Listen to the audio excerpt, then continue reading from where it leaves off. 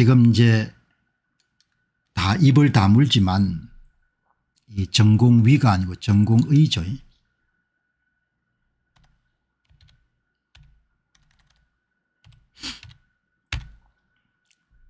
이제 이 문제가 이제 불거증가지 않습니까 전공의들이 한 3, 400만 원 정도의 월급을 받고 주 100시간 정도까지 일을 하고 있다는 것이 지금 밝혀진 거지 않습니까 그러면은 한국 사회가 이 문제를 예, 여야를 불문하고 의료계하고 국민을 불문하고 이런 부정의한 일을 해결하려고 하는 자세가 있어야 되는 겁니다. 이거를 다 여러분들 숨기고 자기 이익 때문에 말을 뒤틀고 거짓말해서 안 된다는 겁니다. 이거는 어마어마하게 야만적인 일을 노동력을 착취하고 있는 겁니다. 젊은 전공의들을 수련의 이름으로 전공의들 착취하고 있는 일이 지금 예, 수십 년째 계속되어 온 겁니다. 예, 이거를 제가 처음으로 알게 된 겁니다.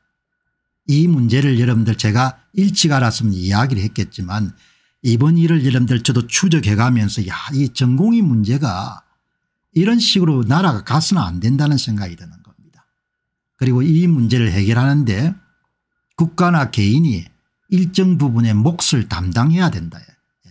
수술 비용을 어느 정도는 현실화를 해줘야 되고 거기에 대해서 국가의 재정이 투입되거나 건강보험료율을 올리거나 아니면 자가 부담을 높이거나 그렇게 여러분들 조치를 취해야 되는 거고 그런 조치가 먼저 선행이 된 다음에 뭡니까? 의료 의과대학 정원 조정 문제가 나와야 되지. 이런 거가 전혀 해결되지 않는 상태에서 의과대학 정원을 조정해 가지고 낙수 효과를 기대한다는 것이 얼마나 어리석고 무지한 생각이냐 이야기입니다.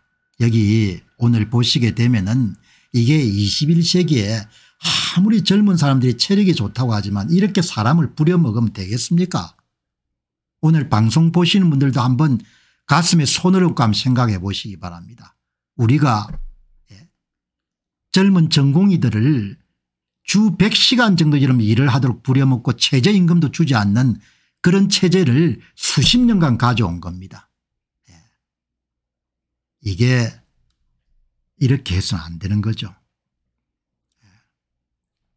여기 보시면은 국민의힘이 아마 국회의원이 윤 정부를 옹호하기 위해서 이런 말씀을 하신 모양입니다.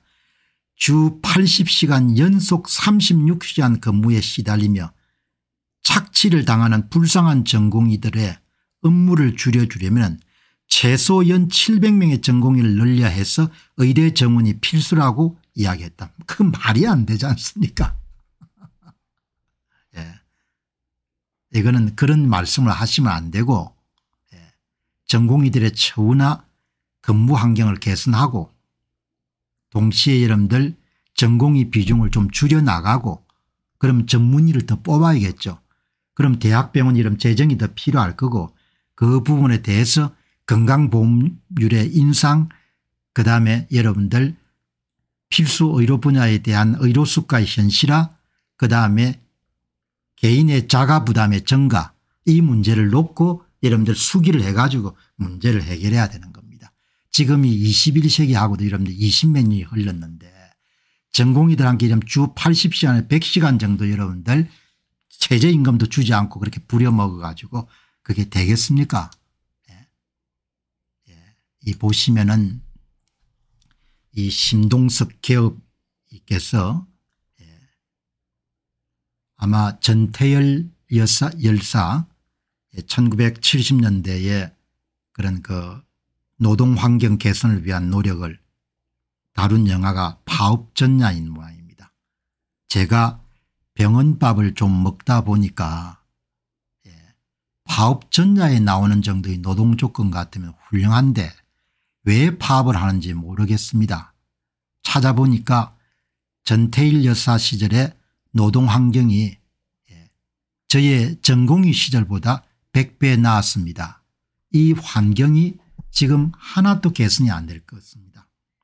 심동석 개헌이가 젊은 날에 여러분들 세브란스에서 여러분들 이 전공의를 하신 모양인데 그때 여러분들 상황하고 지금이 하나도 개선이 안 된 겁니다. 이렇게 보는 겁니다. 저기 보시면은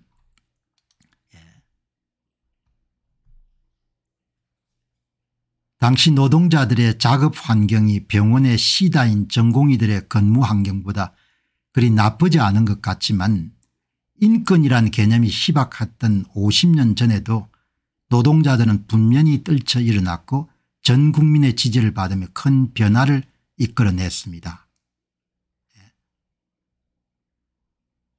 지금 일반 기업들은 주 40시간제가 도입된 지 8년이 흘렀습니다. 그런데 이게 이제 이 2019년에 큰 사고가 있었네요. 그러니까 아주 젊은 전공의가 가로사를 한 사건이 있었는데 예, 신형록 전공이네요. 인천의 길병원에서 일을 했고 숨지기 전에 일주일 동안 113시간 일을 했고 4주간 그의 평균 근무 시간은 주 100시간이었고 근로기준법으로 정해진 근무 시간은 주 52시간이었지만 그가 말하는 곳은 예외지였고 이 가천대 길병원 당직실에 숨진 채 발견된 소아 청소년과 2년차 전공이 신형록 씨 이렇게 여러분들 아무리 몸이 젊은 분들이라도 이 과로가 이렇게 누적이 되게 되면 이렇게 돌연사가 할 수가 있을 겁니다.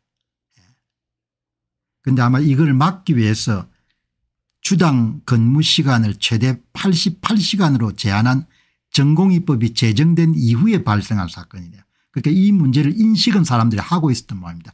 당시 이제 전공의 협의회에 회장 되신 분이 예, 이제 그 사건이 일어나고 난 다음에 전공의 협의회 차원에서 노력을 통해 가지고 6개월이 지나서 과로사로 이름 인정이 된 거죠. 예. 여러분 이 문제 필수 의료 분야에 대한 문제와 함께 이걸 우리가 해결하고 넘어가야 되는 겁니다. 이거를 그냥 예, 어마어마하게 일을 많이 하네요. 여기 보시게 되면 은 일주에 80시간 연속으로 최대 36시간 근무하도록 되어 있는데 예. 이 길병원은 최대 주 88시간 수련 연속 최대 40시간 수련 연속 수련사의 최소 10시간 수력 주 1회 휴일부 등 전공의법이 명시한 조항을 모두 위반했다. 예, 과로사를 한 겁니다. 예, 웬만하면 여러분 젊기 때문에 체력들이 있고 하니까 이런 상황이 발생을 할 수가 없을 건데 예, 아무튼 상황이 발생해 가지고 이제 젊은 의사들이 이게 2023년입니다. 2023년이니까 예, 이번 사태가 이제 불거지기 전입니다.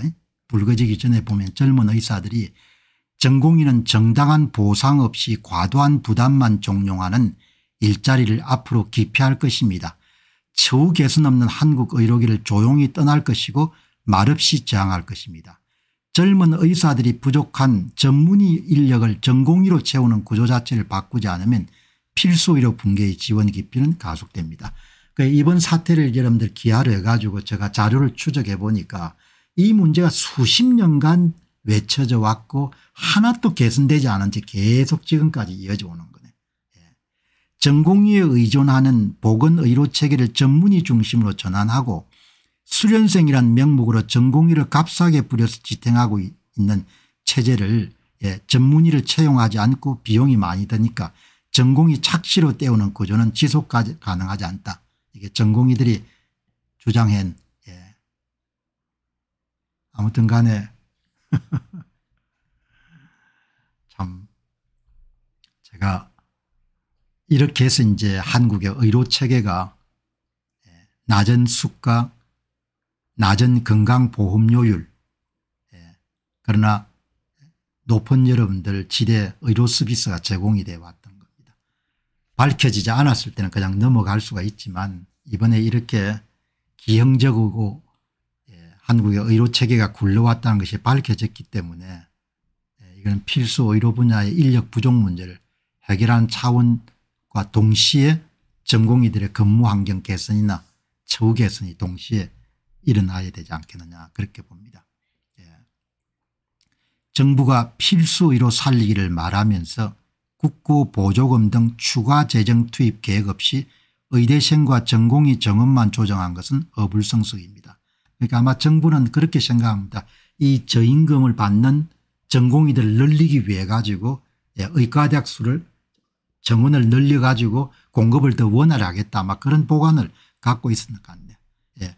미래가 없는 곳에서 전공의는 주 100시간 연속 36시간 근무를 감내하며 노동력을 싼값에 제공할 이유가 없습니다. 예. 사명감이 버티면 필수 중증 의료를 담당할 여력도 없습니다. 변화는 이미 시작됐습니다. 소아 청소년과 진로 대란은 시작에 불과합니다. 예. 이런 내용이 그 소아 청소년과 뭐 오픈런이라든지 이런 문제가 사회 문제가 되면서 2023년도 1월 14일자 보도니까 예. 의료 대란이 일어나기 전에 예. 이런 문제가 발생했네요.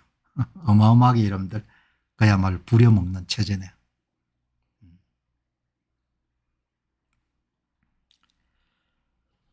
자 여러분 뭐 어느 사회든 간에 문제가 생길 수 있지 않습니까 뭐 문제가 사람 사는 사회니까 개인 사회 또 마찬가지고 나라 일도 문제는 생길 수가 있죠. 그 문제를 해결을 해야 되는 거죠. 예. 그래서 이제 이번에 이제 문제가